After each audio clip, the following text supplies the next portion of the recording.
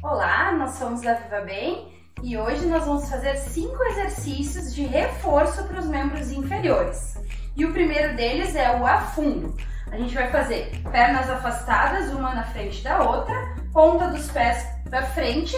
Vão ser 30 segundos cada exercício, tá? Ou seja, 30 segundos com cada perna. Ou você pode fazer por repetições também, se quiser fazer 10 repetições com cada perna. Olhando para frente, coluna alinhada, ponta do pé lá atrás. E a gente vai fazer, pode se equilibrar com a mão na cintura, mas a coluna deve ficar retinha, ou com os braços lá na frente e vai descer apontando o joelho de baixo no solo, tá? Então, 30 segundos com um lado, após troca, 30 segundos com o outro lado. Esse foi o afundo. Após, a gente vai se apoiar na parede e vai subir e descer na pontinha do pé, trabalhando a panturrilha, ok? Muito bem, esse foi o segundo. O terceiro, pernas afastadas, ponta dos pés para fora. A gente vai fazer um agachamento um pouco mais aprofundado, tá? Desce e sobe também, 30 segundos ou 10 repetições. Após, terminando esse, a gente vai fazer uh, outro agachamento, porém a gente vai segurar lá embaixo dois, dois, em dois tempos e subir, tá? Na subida a gente pode dar um saltinho no final, ó. A gente vai um, dois e dá um saltinho no final, tá? 30 segundos também. Terminou esse, foram três. Uh, o próximo a gente pode fazer uh, segurando, vai cruzar uma das pernas. Esse é mais isometria, tá? Então a gente vai descer e vai ficar nessa posição por 30 segundinhos. Fez com essa perna, vai trocar, cruza, ó. Movimento então do 4, senta lá atrás, cruza na frente os braços e fica lá atrás. E o próximo pode utilizar a parede também, se apoia na parede e vai elevar uma das pernas lá atrás e voltar sem dobrar o joelho.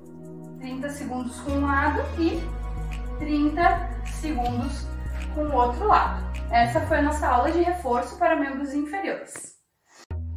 Olá, meu nome é Karine Martins, sou nutricionista da Viva Bem e hoje nós vamos falar sobre o mel, especificamente naquela pergunta básica que tem: Ah, o mel engorda? Se você comer o pote de mel, vai engordar sim. Ou se você esquecer que o mel também é um açúcar, ele vai te engordar. Justamente porque o que, que nós pensamos, né? Normalmente, o mel é um alimento super natural, então eu posso incorporar ele na minha rotina alimentar e tá tudo certo, mas não é assim não.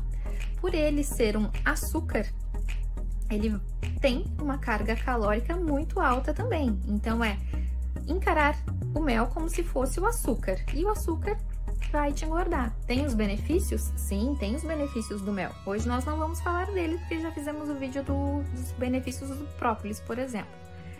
Mas na questão ele engorda, ele acaba sim te engordando se você se mantém comendo os teus farináceos durante o dia inteiro, uh, os cometendo aquelas beliscadas durante a tarde, comendo demais tanto no almoço como no jantar, e à noite tu vai fazer um chazinho e adoçar ele com mel, ou tomar um leite quentinho e adoçar ele com mel.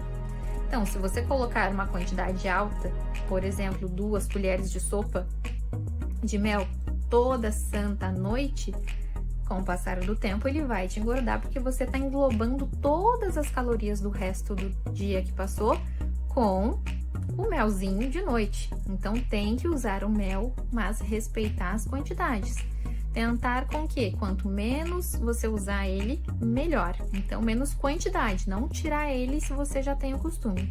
Eu tô numa mania de comer a banana esmagadinha e colocar um mel por cima.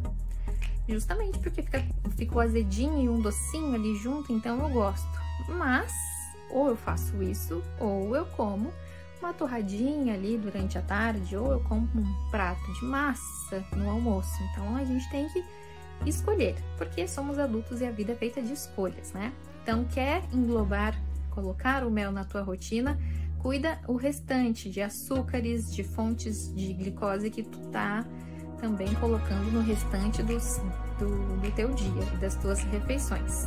Engordar sim, ele engorda, ele é um açúcar. Então, é com respeito que você tem que usar ele. Até mais e um abraço!